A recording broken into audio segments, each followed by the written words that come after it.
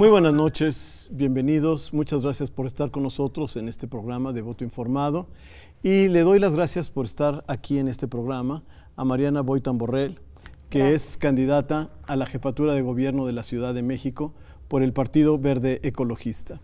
Y quiero empezar por preguntarte algo de ti, de quién eres tú y cómo llegaste a esta candidatura. Cuéntanos algo de ti. Gracias, Fernando. Pues bueno, soy abogada, eh, estudié en la Universidad Anáhuac, hice una especialidad en administración pública, cursé también los estudios de maestría en administración pública que estoy por, por titularme. Eh, tuve una beca por el Consejo Británico para hacer un curso de especialidad en gobernabilidad y democracia ambiental en Inglaterra y bueno, distintos cursos de especialización para, en derecho ambiental, en derecho ambiental mexicano. Y pues bueno, he trabajado desde el inicio eh, en organizaciones no gubernamentales, principalmente en temas ambientales y temas sociales. Digo que además todos los temas ambientales están vinculados con temas económicos y temas sociales, pero eso es lo que he trabajado durante los últimos 20 años. Inicié en organizaciones no gubernamentales, una de ellas Greenpeace México, estuve tres años colaborando con ellos en diferentes temas, pero puntualmente en temas de eh, residuos peligrosos y residuos sólidos urbanos, eh, calidad del aire. Y eh, después de Greenpeace me moví a la Asamblea Legislativa del Distrito Federal eh, como asesora de la Comisión de Medio Ambiente y Recursos Naturales, donde trabajé también diversos temas, todos los temas ambientales, iniciativas, puntos de acuerdo presentados por los distintos legisladores, llegaban a la Comisión de Medio Ambiente para eh, ser analizados su viabilidad técnica y jurídica y estuve ahí trabajando también tres años y eh, los últimos cinco años pues, estuve en la Secretaría de Medio Ambiente y Recursos Naturales, en la Semarnat, en dos posiciones distintas. La primera fue como directora general de Zona Federal Marítimo Terrestre y Ambientes Costeros y la segunda directora eh, general de Fomento Ambiental Urbano y Turístico, los dos nombres muy complejos, pero en la primera pues básicamente lo que hacíamos era administrar las playas del país eh, cualquier, todas las playas son propiedad de la, nación y cualquier mexicano tiene derecho a usarlo siempre y cuando sea a través de una concesión otorgada por el gobierno federal y ese trabajo lo hacía mi dirección. Y en la segunda dirección, en la de fomento ambiental urbano y turístico, tenía a mi cargo cuatro temas básicamente. Uno era sustentabilidad urbana, que es desarrollar instrumentos para tener ciudades sustentables. el tema de residuos sólidos urbanos, que aunque es competencia municipal, la política ambiental en la materia la dicta la federación eh, calidad del aire desde el punto de vista de fuentes móviles, que es vehículos, y eh, turismo sustentable. Entonces, bueno, pues son, digo, esto es lo que he seguido una misma línea, como mucha consistencia en mi vida, siempre trabajando por las mismas causas que se traduce en pues, beneficios y mejoras a la calidad de vida de todos los ciudadanos. ¿Y cómo llego a esta candidatura? Pues bueno, estoy desde la Asamblea Legislativa, estuve trabajando ya con el Verde, llevo desde el 2004 trabajando en distintos proyectos, iniciativas con el Verde, y eh, pues me ofrecen esta candidatura precisamente en este proceso electoral, y la verdad es que es pues un gran reto, la Ciudad de México es una ciudad muy compleja con, con problemas pues muy añejados, y pues no solo eso, es una de las grandes ciudades del mundo y que, pues, bueno, obviamente sí representa un reto muy interesante, pero sin duda alguna también representa una oportunidad para cambiar esta ciudad y para tener la ciudad que queremos, para darnos mejor calidad de vida a todos nosotros los capitalinos. Y pues es así como llego a esta... ¿Y por qué crees tú que tu perfil te puede apoyar? ¿Qué es, ¿Cómo te imaginas tu visión del gobierno de la Ciudad de México? Digo, mi perfil porque, porque justo trabajar, digo, mucha gente me ha preguntado, oye, ¿cómo un ambientalista pretende o por qué tendría las capacidades de gobernar una ciudad como la Ciudad de México. Y precisamente porque trabajar en temas ambientales te implica buscar soluciones integrales a los problemas. Como te decía, pues los temas ambientales están directamente relacionados con temas de pobreza, están directamente relacionados con los temas económicos, con el desarrollo económico y tan solo por decirlo de una manera muy sencilla, Hoy necesitamos recursos naturales para prácticamente todos los procesos productivos. Entonces, los temas ambientales están directamente relacionados con los temas económicos y directamente con los temas sociales. Em, ¿Y los temas políticos, por ejemplo? Digo, es que todo está de la mano. Al final, para resolver los problemas necesitamos diseñar políticas públicas, ¿no? En esta ciudad y en, todas partes del mundo. Entonces, digo, me parece que eh, mi perfil, ah, justo, eh, pues llevo 20 años trabajando por estos temas, creo que tengo la experiencia para entender los problemas de una manera integral y no solo para entender los problemas, sino para identificar e implementar soluciones integrales que realmente se traduzcan en beneficios para los ciudadanos. Entonces creo que tengo el perfil adecuado para eh, pues, ser jefa de gobierno de esta ciudad. Pero, por ejemplo, hay cosas de política pública eh, de política, llamémoslo así, incluso de grilla, pues para usar la palabra común y coloquial en nuestro país, que son muy importantes a la hora de la eficacia de la política mm, pública. ¿no? O sea, una cosa es diseñar, por ejemplo, un programa de política pública. Se habla mucho de programas de política pública, ¿no? Y entonces voy a hacer esto, voy a hacer lo otro, si es necesario.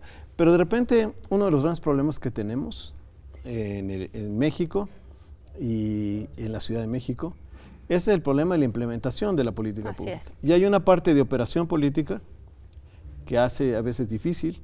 ¿no? Yo quiero hacer cosas buenas, pero pues está la Asamblea, están muchas instancias, está el gobierno federal, hay muchas instancias. Eso es un problema. y la, bueno, Sí, perdón, perdón. Y, y, la, y la otra es directamente con el comportamiento de la ciudadanía. Por ejemplo, en una época estuvo de moda usar incentivos, ¿no? Pues incentivos fiscales, incentivos de no sé qué, ¿no? Entonces subir impuestos, bajar impuestos para que la gente no contamine, para subirle el precio a las gasolinas, este, hacer no sé qué tanta cosa. Pero la, verdad es que son políticas que no han funcionado. Entonces, mi pregunta va en el siguiente sentido, ¿no? Eh, ¿Tú cuál es tu experiencia, digamos, en términos de poder procesar estas cosas, como la parte por un lado, la grilla, llamémoslo así, y por el otro lado, tu experiencia en términos de la eficacia de las políticas públicas, porque se pueden hacer, en este país hay miles de normas muy buenas, y el problema es que no funcionan. Bueno, en cuanto a mi experiencia, creo que está, digo, desde las organizaciones no gubernamentales, el hecho de tratar de incidir constantemente en las políticas públicas te implica necesariamente, te lleva a la necesidad de tener que conciliar con otros sectores. O sea, las organizaciones no gubernamentales son una parte de la ciudadanía, uno de los sectores que busca incidir en las políticas públicas, pero está la iniciativa privada y están los legisladores y está el ejecutivo estatal, federal, el que sea, el que corresponda. Y necesariamente para lograr tener una política pública que, se publique, que, que sea vigente, que se empiece a implementar, pues necesita el acuerdo de todos los sectores y eso pues necesariamente te obliga a estar negociando y conciliando con otros sectores. Entonces creo que en ese sentido, pues la experiencia la tengo y no de ahorita, sino desde el sector de las organizaciones no gubernamentales. En la Asamblea Legislativa pues será lo mismo, ¿no? Para poder eh, tener un dictamen que se apruebe por todos los legisladores, pues necesariamente tienes que conciliar con otras fuerzas políticas, pero que además me parece muy sano. Este, yo creo que precisamente esa es la pluralidad que estamos precisamente esa pluralidad es la que nos representa a todos los ciudadanos y se me hace muy sano que podamos tener pues, estas opiniones distintas y que nos veamos en la necesidad de sentarnos a conciliar y acordar eh, qué tipo de políticas públicas son las que necesitamos implementar. Eh, y por otro lado, pues, la eficacia de las políticas públicas yo creo que mucho depende pues, del gobierno que esté en turno. Desafortunadamente, hoy los ciudadanos estamos acostumbrados a que no tengan eficacia esas políticas públicas, pero porque hay verdaderamente un desinterés, si me permites decirlo de esa manera, o una incapacidad por parte del gobierno de implementarlas de una manera efectiva. Pero, eh, pues, digo, tenemos ejemplos en muchísimas partes del mundo donde las políticas públicas se aplican y eh, los ciudadanos son los primeros comprometidos. Creo que aquí uno de, las, de los ejes fundamentales para lograr que las políticas se implementen es el involucramiento de la ciudadanía en el diseño de las políticas públicas, en el diseño de los proyectos, porque la única manera en que puedan participar es adueñándose los propios proyectos. o sea, la solución de los problemas tiene que ser siempre desde una perspectiva de corresponsabilidad entre todos los sectores. O sea, el gobierno no puede resolver todo. Necesitamos participar todos como ciudadanos, ciudadanos, adueñarnos de las políticas y de los proyectos y ser nosotros también los propios vigilantes de la implementación. Dime algo de, ti en, en cuanto a tus posiciones políticas. ¿Eres de izquierda, de derecha, centro? Centro izquierda, centro, de, centro derecha? Pues mira, me considero liberal en términos de los derechos de los ciudadanos, de los derechos individuales y colectivos. En ese sentido me, me considero liberal y... Eh, ¿Liberal qué, qué, querría decir? ¿Estás a favor del derecho de las mujeres a decidir sobre su cuerpo? Sí, eh, claro. con respecto al aborto y estas cosas. Sí, estoy de acuerdo. ¿Sobre la eutanasia estás de acuerdo? Que una persona pueda decidir. Estoy de acuerdo. Sobre la eutanasia. ¿Estás de acuerdo, por ejemplo, en que haya una persona que quiera a otra persona, no importa su sexo, pueda hacer una familia? Definitivamente. ¿Estás de acuerdo, por ejemplo, en políticas impositivas para la distribución del ingreso o ese tipo de cosas? Yo más bien estoy a favor en ese sentido eh, de generar las oportunidades económicas para tener condiciones de mayor igualdad entre todos los ciudadanos. Pero ¿cómo sería una política de igualdad? Este? Digo, yo creo que necesitamos Por ejemplo, esta ciudad es desigual, el país es desigual y esta ciudad es desigual. Completamente. Por ejemplo, usar impuestos para servicios, ¿no? ¿no? Mejorar los servicios, mejorar la salud, mejorar la educación. Claro, definitivamente estoy a favor de eso y ese es pues y cobrar más impuestos si es necesario. Pues yo digo, tendríamos que analizarlo, pero en este momento para el caso particular de la Ciudad de México me parece que no es necesario, recursos hay. El problema es cómo se están invirtiendo y qué destino, qué uso se le están dando esos recursos.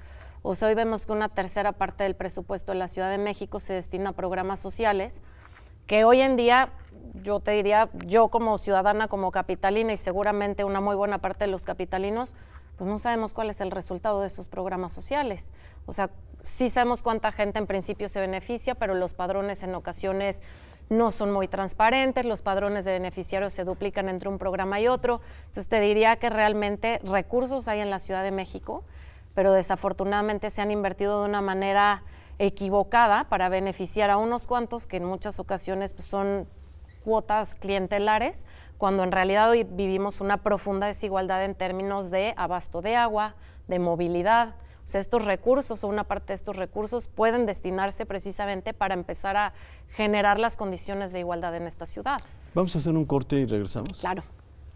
Volvemos.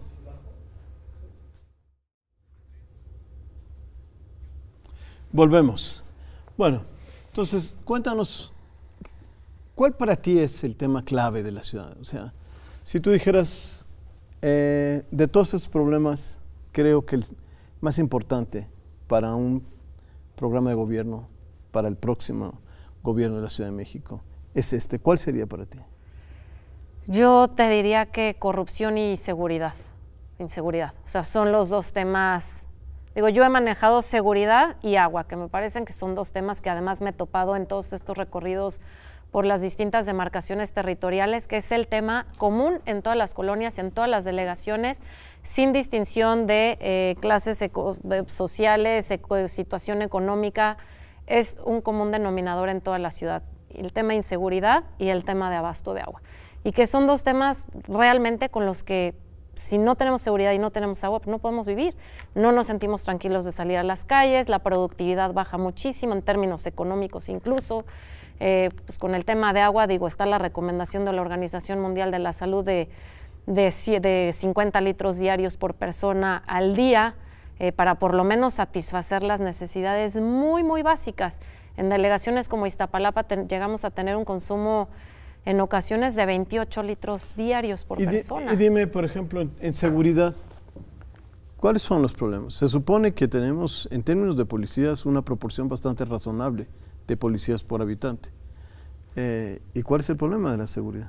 Yo creo que son varios los problemas que tenemos ahí, pero uno que muy atinadamente comentas es el de los policías. Sí somos una de las ciudades que tiene superávit de policías, de cuerpos policíacos por habitante, pero eh, tenemos policías que ganan 4.500 pesos al mes. La semana pasada estuve en la Gustavo Madero, en una colonia, en una zona bastante peligrosa, con mucha inseguridad, y la gente me decía, oye, es que ni siquiera los policías quieren venir aquí. Pues no, ¿cómo van a querer venir con un sueldo de 4.500 pesos?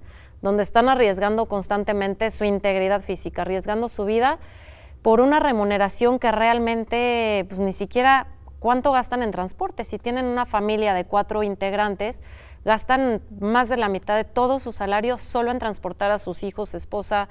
O sea, realmente las condiciones en las que hoy tenemos a los cuerpos policíacos pues, son muy poco dignas. Necesitamos, y que este es uno de los temas constantes en cada proceso electoral. ¿eh? Yo he oído esta propuesta miles de veces pero hoy seguimos teniendo policías con 4.500 pesos al mes. O sea, sí necesitamos darles mejores condiciones laborales, mejores condiciones económicas y definitivamente profesionalizarlos. Hoy lo que sucede también es que a falta de empleo, muchos de estos policías pues toman este puesto porque es la única alternativa que tienen. Dicen de 4.500 pesos a quedarme sin trabajo, pues 4.500 pesos. Entonces necesitamos tener policías mucho mejor preparados o sea, nuevos perfiles y los perfiles que tenemos, capacitarlos, pero capacitarlos de una manera constante para que haya por parte de ellos un compromiso, pero además un involucramiento con la ciudadanía, o sea, tener un policía cercano a la ciudadanía que conozca a los vecinos, que conozca la problemática que se presenta en la colonia para que de manera anticipada pueda desarticular y eh, cualquier, pueda prevenir el delito.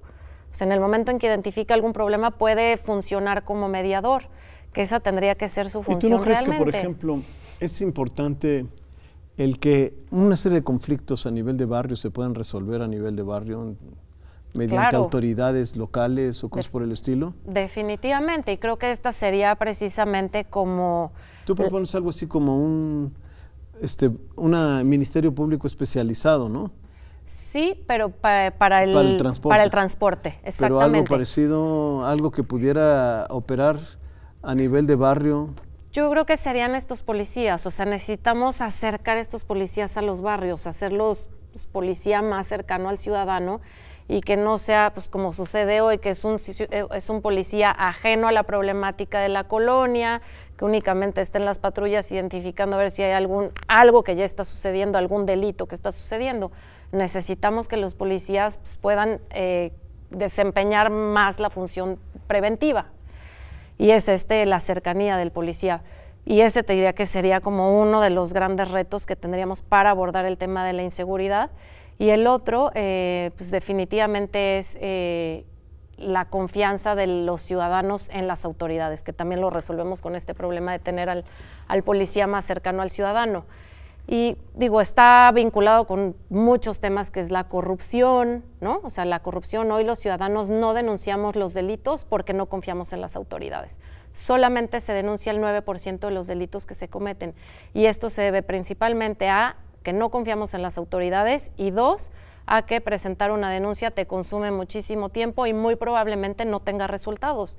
Y ese es como yo creo que uno de los puntos claves. En esta ciudad aunque tengamos al delincuente, no tiene consecuencias. Tenemos a, identificamos a los corruptos y no tiene consecuencias.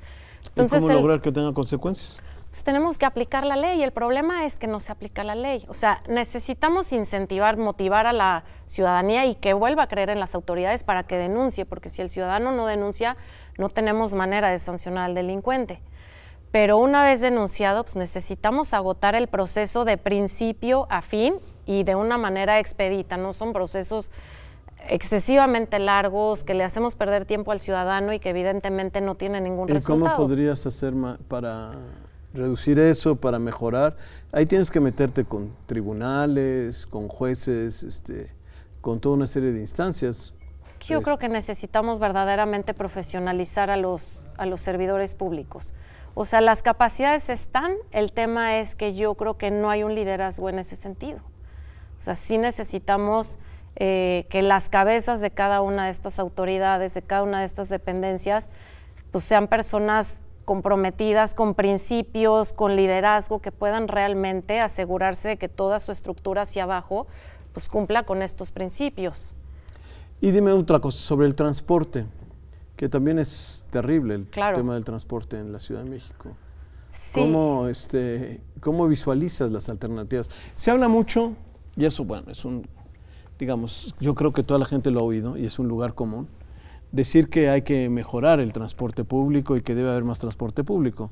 Muchas de las grandes ciudades, de las ciudades quizá más habitables, pues tienen un muy buen servicio de transporte público. Este, la gente usa la bicicleta, hay menos automóviles en las calles, etcétera. Pero en la ciudad en la que vivimos, transitar de, un modelo como el que tenemos de transporte a un modelo de, en el que el transporte colectivo sea la base de movilización de la ciudad, es casi, es casi magia, ¿no? ¿O qué piensas tú? pues yo, yo no diría que casi magia, yo creo que sí es muy factible, pero eh, pues necesitamos implementar políticas ya, desde ya hoy tenemos un, un transporte público no solamente insuficiente, tan solo por decirte, el metro está diseñado para transportar a 3 millones de personas por día. Y hoy se transportan más de 5.5 millones. O sea, está completamente rebasado. O sea, no solamente es insuficiente, es deficiente, ¿no? Digo, tanto el metro como el metrobús, como los microbuses, en general tenemos un transporte público deficiente y desarticulado. Y además es inseguro. Y esta parte de la inseguridad también se da mucho por la saturación, por el congestionamiento dentro del transporte público. Yo ahí digo, tenemos que, como TOPS, implementar políticas públicas integrales y abordar la problemática desde distintos enfoques. Pero una de las políticas que me parece muy importante que podemos implementar es la de horarios escalonados, que esto es tanto servidores públicos como empleados de la iniciativa privada podamos tener horarios distintos de horaria de entrada y de salida a nuestros lugares de empleo. Con esto vamos a descongestionar las horas pico y entre más descongestionado vayamos en el metro o en el metrobús, pues las condiciones son menos, propicias para la comisión de un delito. ¿Qué pasa cuando vamos así en el metro? Pues te ponen una pistola aquí de una manera muy sencilla, nadie se da cuenta y te asaltan en medio minuto. Pero cuando tienes un transporte público más descongestionado es mucho más fácil de entrada, pues cuidarnos unos a otros. O sea, es mucho menos probable que el delincuente se atreva si hay 10 personas viéndolo. Entonces, creo que esta medida nos va a permitir no solamente descongestionar el transporte público y tener un transporte público más seguro, sino también las vialidades, porque sucede lo mismo en las vialidades. O sea, el escenario es perfecto cuando estás dos horas parado en un semáforo en la medida en que descongestionemos también las vialidades, pues van a ser más seguras y además vamos a tener una mucho mejor calidad del aire, que no es un tema menor. O sea, el tema de calidad del aire es un tema de salud pública muy importante y hemos tenido casos de muerte por pero miles de casos de muerte anuales. ¿Ya están medidos? Sí. Porque sí se habla, pero no está muy clara la medición, ¿o sí? No, sí. Eh, Tan solo el año pasado hay un estudio que nos dice que pudimos haber evitado 4.000 muertes prematuras y en, hace tres años eh, el número era de 1.700 muertos, muertes por eh, mala calidad del aire. Entonces, aunque no lo percibimos, porque no es tan perceptible como estar dos horas en el transporte público o en el coche, es un tema que nos afecta todos los días, nos afecta gravemente en la salud. Entonces, esta medida de horarios escalonados nos va a permitir como atacar varias problemáticas con una sola medida y que obviamente pues no es suficiente. Necesitamos además, sí necesitamos dar mantenimiento y mejorar el transporte público que ya tenemos, pero para esta parte de la seguridad eh, yo he propuesto que tengamos cámaras de videovigilancia en cada una de las unidades de transporte, incluidos los microbuses, que aunque son concesionarios va, va a ser una obligación que tengan estas cámaras de videovigilancia y botones de pánico Aquí lo importante pues, es que usemos estas cámaras de videovigilancia, porque hoy tenemos cerca de 21 mil cámaras en toda la ciudad y metro, pero sabemos que cerca de 4 mil no están funcionando. Y dos, si el ciudadano no denuncia, pues es muy difícil que podamos usar esa información de las cámaras de videovigilancia en un proceso judicial y sancionar realmente a los delincuentes. Entonces, el tema de la denuncia es muy importante. Lamentablemente se nos acaba el tiempo. Dime una última cosa rápida que tú crees que es fundamental en tu proyecto? El tema de agua. O sea, hoy, como te comentaba, tenemos eh, delegaciones como Iztapalapa con un consumo, un, abastecimiento de 28 litros diarios por persona y en colonias como Lomas de Chapultepec podemos llegar a tener hasta 800. El problema que tenemos en la Ciudad de México no es, que tenga, no es de desabasto de agua, no es que no tengamos agua. Sí tenemos agua, el problema es que tenemos estos consumos dispares, desiguales en la ciudad y sobre todo que el, que el 40% del total del agua que nos llega a la Ciudad de México, el 40% lo estamos perdiendo en fugas. Si logramos recuperar ese 40%, que por cierto nadie lo ha hecho en los últimos 20 años, esa cifra de 40% ha permanecido estática en los últimos 20 años, quiere decir que no ha habido inversión para este tema.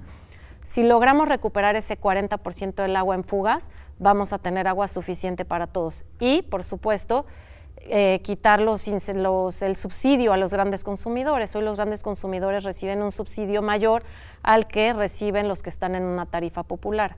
Entonces necesitamos, por un lado, eh, reparar la red hidráulica, que hoy tenemos que data de 50 y en algunos tramos hasta de 100 años, tiene 100 años de antigüedad. Necesitamos repararla para recuperar ese 40% de agua que hoy estamos perdiendo y poderla hacer llegar a las colonias y delegaciones que hoy no tienen. Y por otro lado, eliminar estos subsidios a los grandes consumidores para eh, desincentivar el consumo excesivo y el desperdicio de agua y esa agua pueda ir a las delegaciones y colonias que menos tienen. Mariana, muchísimas gracias. Lamento, ya no, tenemos más tiempo. Muchísimas gracias. gracias. Suerte. Muchas gracias. Muy buenas noches y buenas noches Lorena. Gracias por estar con nosotros aquí en Voto Informado. Eh, hoy vamos a platicar con Lorena Osornio Elizondo, que es la candidata independiente eh, para el gobierno, la jefatura de gobierno de la Ciudad de México. Cuéntanos, por favor Lorena, así de entrada, cuéntanos cómo es que llegaste hasta acá, quién es Lorena, qué ha hecho Lorena y por qué quiere ser jefa de gobierno. Muy buenas noches, muchas gracias por la invitación, Fernando. Eh, pues, ¿quién es Lorena? Lorena es una ciudadana como cualquiera que transitamos en la Ciudad de México, como cualquier mujer, las millones que vivimos en nuestra Ciudad de México, una madre de familia, de tres hijos, estudiante de la carrera de Derecho, soy microempresaria, eh, presidenta de una asociación civil. Y, cuál es esta asociación civil? Se llama Foro Nacional de Justicia y Equidad Social. Muy bien es estudiante de la carrera de abogada. Y bueno, pues eh, aquí, ¿por qué estoy aquí? Porque muchos como, como yo ya hemos experimentado con muchos partidos políticos las necesidades que tenemos en nuestra ciudad. Yo desde hace más de 20 años me dedico al apoyo ciudadano. He participado en comités ciudadanos, en el Comité Centro 1 y Centro 1, en la colonia Centro, en donde ayudamos a la sociedad civil a solucionar los problemas que teníamos en las colonias. Nosotros fuimos pioneros de estos comités en el 2010 cuando eh, Marcelo Ebrard los, los, creó para beneficio de la ciudadanía con el presupuesto participativo. Y estuvimos trabajando mano a mano, hombro a hombro con la, con la ciudadanía, aunque con muchos problemas con gobiernos, con gobierno central, con gobiernos delegacionales, que es lo que nos ha hecho seguir buscando alternativas diferentes para poder generar nuevos gobiernos en nuestra ciudad. Yo en el 2015 fui candidata a jefa delegacional por Coaptemoc y en el 2016 fue también volví a ser candidata independiente para lo que es la Asamblea Constituyente. En esta ocasión pues, vuelvo a participar como candidata para la jefatura de gobierno, que no ha sido nada fácil. Nuestras reglas son basadas en con muchas piedras en el camino, con muchos requerimientos para uno como ciudadano, porque para ellos es muy fácil ponerte las trabas del mundo para que se te quite la intención de participar. Y creo que eso debe cambiar en nuestra ciudad. Nuestras leyes no están, nuestros legisladores no la hacen en beneficio de los ciudadanos, sin beneficio sino de los mismos partidos políticos para que generen solamente a favor de ellos. Tú sabes que para ser candidata independiente, o algunos, algunos no saben, pero tuve que juntar 74.560 firmas en toda la Ciudad de México con el 1% mínimo por cada una de las delegaciones. Lo logramos, juntamos 120.000, juntamos 120 firmas en toda la ciudad, logramos el registro, nos reconoció el instituto porque vio que realmente el compromiso de los ciudadanos hacia esta candidatura era realmente legítimo y precisamente por eso estamos aquí, porque estamos cansados de la situación que vivimos en nuestra Ciudad de México. Cuéntame un poco más sobre tu ONG. Es una organización ciudadana, una organización civil. Esta se dedica en apoyar a vecinos en estado de vulnerabilidad, dando capacitaciones, dando apoyos este, ciudadanos, pero principalmente para generar nuevos empleos en la Ciudad de México, ser autosuficientes para no depender de un programa social, porque lo único que han hecho, lo único que han venido a hacer estos programas sociales es darles como un medicamento para calmarte el dolor. Y eso ya no puede ser posible. Yo aquí en esta asociación les enseñamos a pescar, a crear todos sus propios recursos para tener una mejor calidad de vida, conseguir una vivienda digna. Nosotros tenemos un tipo albergue para todas aquellas personas que no tienen un lugar digno en donde vivir, porque también es un tema muy difícil en la ciudad, donde pues, mayor, la mayor parte de los vecinos, de los ciudadanos, pues carecen de, un lugar digno en donde vivir, porque tienen pobreza patrimonial y nosotros buscamos estas alternativas para generar, uno, capacitación para, este, y tengan recursos para poder vivir, otro, que los transcursos, ya sabes que en el metro y nuestro medio de transporte es muy tardado y estén más cerca del lugar donde laboran, estén más cercanos a sus familiares y tengan una mejor calidad de vida. Pero todo esto es por medio de esta asociación que apoya a todas estas personas. Nosotros buscamos alternativas con gobiernos para poder llevar esto a muchos lugares de la ciudad. Desafortunadamente, pues como no les dejaba una cuestión económica, pues no les interesó el proyecto. Y cuéntame de los, de los obstáculos que tuviste cuando eh, eh, con el gobierno federal que mencionaste y con el, el gobierno de la Ciudad de México y con las delegaciones, qué tipo de obstáculos ponían para el trabajo de ustedes. Por ejemplo, en, en, los comités ciudadanos, el presupuesto participativo tiene que ser votado por los ciudadanos y tienen que elegir, elegirse por los ciudadanos qué es lo que quieres hacer en tu colonia, en tu comité.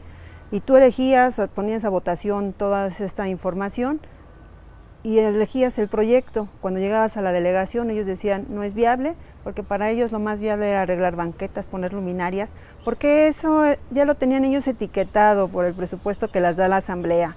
Entonces siempre te desechaban los proyectos, siempre te ponían cosas que no necesitabas, ocupaban el presupuesto para otros bueno, y eso se ha dicho mucho, que el famoso presupuesto participativo se usa para hacer cosas que las delegaciones deben hacer al margen del presupuesto participativo. Ese es uno de los grandes temas.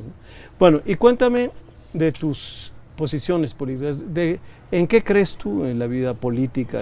¿Cuál es tu compromiso, digamos, moral con, con la vida política? ¿Estás, ¿Tienes alguna posición ideológica? ¿No la tienes? ¿Te sientes de izquierda, de derecha? Eh, ¿Cuál es tu pues, pues principalmente yo creo que aquí en la Ciudad de México ya no tenemos ni izquierda ni, ni derecha. Aquí lo que yo creo es que trabajo más en lo que necesita la gente, en el hecho de estar cara a cara para saber cuál es tu necesidad, qué es lo que le ha hecho falta mucho a nuestros políticos de ahora. Para ellos la política es un negocio. Para ellos la política es decir, hoy te pongo a ti, a ti, a ti, y yo elijo porque pues yo soy el que mando en el partido político y vas a hacer lo que yo quiera. Por eso es que hay tantos abusos en todas nuestras instancias de gobierno, en nuestra misma asamblea legislativa, en donde nuestros diputados, nuestros flamantes diputados pueden, pueden ganar hasta más de medio billón de, pesos en sueldos, mientras que las carencias y necesidades que tenemos en nuestros centros de salud, en nuestros hospitales, en nuestras calles, es, es algo que no les importa. Y dime una cosa, por ejemplo, con respecto a una serie de agendas que son hoy objeto de debate político, por ejemplo, el matrimonio entre parejas de un mismo sexo, ¿tú qué piensas sobre eso? Pues creo que todo el mundo tiene derecho a elegir y se respeta sus decisiones. ¿Y adoptar eh, adopciones por parejas homoparentales? Estoy en desacuerdo, porque yo creo que el derecho del niño es primero. ¿Y qué piensas tú sobre los derechos de la mujer, sobre los derechos reproductivos y ese tipo de temas, el, uso libre del cuerpo por parte de la mujer? Yo, yo estoy a favor de la prevención y del cuidado de nuestro, de nuestro cuerpo. Yo soy mujer y principalmente eso es lo que nos ha faltado en nuestra ciudad, que demos bien una tarea en prevención, no en solucionar un problema que en algún momento pudimos haber. Por ejemplo, ¿no estás de acuerdo con el aborto o sí estás de acuerdo con el aborto? No, no estoy de acuerdo con el aborto. Con el aborto, ok. Este, y sobre las cuestiones de discriminación, por ejemplo, por razones étnicas, por razones religiosas. Que seamos, seamos racistas porque a final de cuentas yo también estoy viviendo ahorita como candidata ciudadana, candidata independiente. Aquí en la Ciudad de México nuestros derechos humanos no son, no son válidos. Aunque exista una comisión de derechos humanos, eso siempre es para maquillar a los las cosas en frente de los ciudadanos. Y por ejemplo, tú en tu programa hablas de cuestiones de inclusión, es uno de los temas grandes que tú pones. Pero no recuerdo si en tu programa, debo confesarte, yo leí tu plataforma, no veo, por ejemplo, si tú piensas en la cuestión de la discapacidad como algo que sea algo fundamental para una sociedad incluyente. Es una, es una necesidad fundamental, principalmente porque todas estas personas, y lo vimos, lo vemos en el metro, en las calles, que no hay nada para apoyar este tipo de discapacidades. Necesitamos apoyarlos porque también para ellos es un problema llegar y solicitar un apoyo social y le piden infinidad de documentos para poder obtener ese recurso o ese apoyo mínimo para entrar al metro. Necesitamos hacer una agenda incluyente, incluyente dentro de nuestro gobierno para todas estas personas. una última pregunta. Este, ¿Y tú qué piensas sobre la importancia de que el Estado intervenga más en la economía o no intervenga más en la economía? Que el Estado intervenga en la economía. Sí, que tenga más control sobre una serie de cuestiones, que oriente la productividad, este, que oriente sobre ciertas ramas de desarrollo. Principalmente debe de participar, pero conforme con la inclusión de la ciudadanía. No nada más como lo han venido haciendo hasta ahorita, por ocurrencias de ellos, no por necesidades que tenga la ciudadanía. Ese es un problema. Ellos han trabajado atrás de un escritorio y pensando o creyendo que esas necesidades tenemos. Ahorita los vemos en los debates, en las, eh, eh, en las propuestas que hacen nuestros candidatos, que son los mismos de hace 6, 12, 18, tantos años y que hasta la fecha no se han solucionado. Entonces, lo que se necesita es hacer una agenda incluyente, Estado, Gobierno y ciudadanos para que esto funcione en beneficio de los ciudadanos, porque por ellos somos, somos principalmente los que movemos la ciudad y el país. Vamos a hacer un corte y regresamos. Gracias. Por favor. Regresamos. Estamos platicando con Lorena Osornio, eh, candidata independiente a la jefatura de gobierno de la Ciudad de México. Bueno, Lorena, y a propósito de tu plataforma, tú como primer punto propones una ciudadanía, un gobierno de ciudadanos para los ciudadanos. Y buena parte de esa, de esa sección de tu plataforma la dedicas a hablar sobre, por ejemplo, las finanzas, el que haya finanzas sanas, el que haya un equilibrio presupuestal, etcétera. ¿Nos puedes explicar por qué, digamos, te parece algo muy importante de un gobierno de ciudadanos para los ciudadanos? Es que el hecho de trabajar en conjunto con los ciudadanos es mucho más fácil. Es, es, una situación en donde los ciudadanos van a saber en qué se va a gastar su dinero, cómo se va a aplicar, cuáles son los recursos reales que llegan a la Ciudad de México, que en este momento no los conocemos. Sí sabemos que hay un presupuesto para aplicar en la Ciudad de México, pero no sabemos en qué se gasta.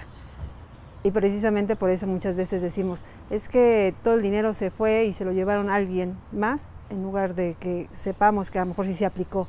Es trabajar en conjunto con los ciudadanos para ver realmente y solucionar todos los problemas que tenemos en las calles, en nuestras colonias, en nuestras, en nuestras delegaciones, y es trabajar principalmente. Pero, por ejemplo, tú hablas de equilibrios en cuanto al egreso y eh, eh, el ingreso este, hablas de una serie de cosas, digamos.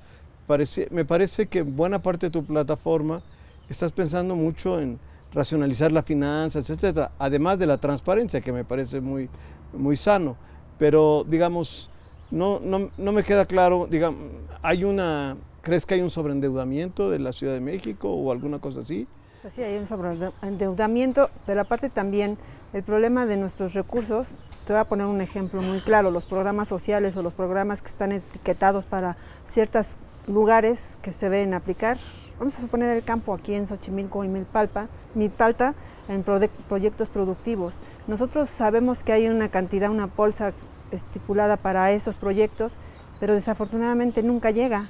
Entonces nosotros necesitamos trabajar juntos de los recursos y que de verdad llegan a donde deben Como debe de ser, porque eso es lo que ha sucedido. Tenemos proyectos en donde existen los programas sociales y que gran parte de los programas sociales, el 50% se va a ciertas personas, pero otro 50% no sabemos a dónde se destina.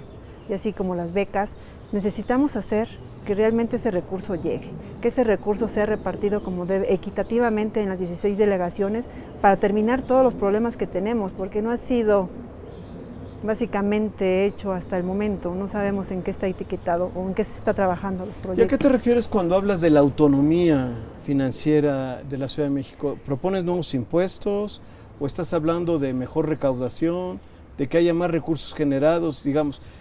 Te refieres a los recursos, ¿no? Y entiendo que hablas de autonomía financiera para que tenga sus propios recursos y no dependa de, de las partidas presupuestales federales, ¿no? Eh, pero, digamos, ¿en qué estás pensando? ¿En que hay una reforma fiscal que le permita a la Ciudad de México eh, poder aplicar otros impuestos? ¿O en que los impuestos que hoy, por ejemplo, eh, los impuestos que tienen que ver con el predial, etcétera, se puedan aplicar de manera más eficiente? O sea, ¿cuál es tu, idea de...? Principalmente, el problema de la recaudación de impuestos es muy compleja. ¿Por qué? Porque no toda la gente paga. ¿Y por qué? Porque tenemos muy altos índices de predial, ah. predial y la gente no tiene la capacidad para pagar. Primero tenemos que hacer una reestructuración de deuda del ciudadano y empezar a, este, apoyar esta situación para que esa recaudación que existe, que, que se tenga que hacer, pues sea aplicada como debe de ser. No es generar más impuestos, no, es principalmente apoyar a los ciudadanos para que ellos puedan generar más recursos para la Ciudad de México, porque si tú en la Ciudad de México vuelves una ciudad productiva, en donde tu entorno de la misma ciudad produzca los alimentos que se consumen en la ciudad, no tendrás que tener, traer de otros lados los productos.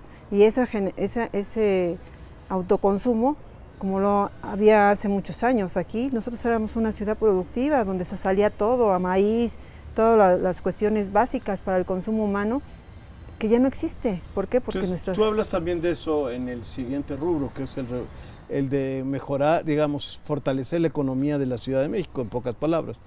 Y sí hablas de ese tema que me llamó la atención. En realidad, digamos, es normal hoy para una ciudad como la Ciudad de México que sea eh, primordialmente una ciudad de servicios y que incluso las fábricas se hayan salido. Hubo una época efectivamente en que la ciudad era un centro industrial. Hoy se han salido y se han ido a otras partes y la ciudad se ha ido convirtiendo en una ciudad de servicios.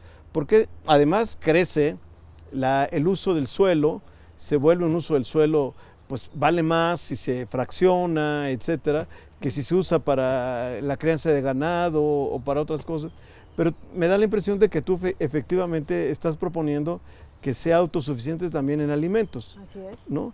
Y, este, y eso te parece que, ¿cómo se podría hacer? Porque para empezar, porque en realidad este, pues cada vez es menor la zona rural que tiene esta ciudad y cada vez es mayor pues las áreas urbanas y cada vez es más rentable eh, para la ciudad y para los inversionistas y para, eh, y para los negocios de la ciudad, pues, este, pues convertir esas zonas rurales en zonas urbanas, digamos, ¿no?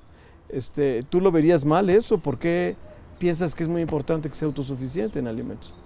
Porque es lo que necesitamos en la ciudad y principalmente porque el desempleo es muy grande y no ha habido generación de empleos. A lo mejor sí ha habido más infraestructura en inmuebles, en, crear nuevas inversiones este, habitacionales, sin embargo, nuestra ciudad está completamente abandonada. Nuestra delegación Milpalta, nuestra delegación Xochimilco, que son productoras 100%, están abandonadas.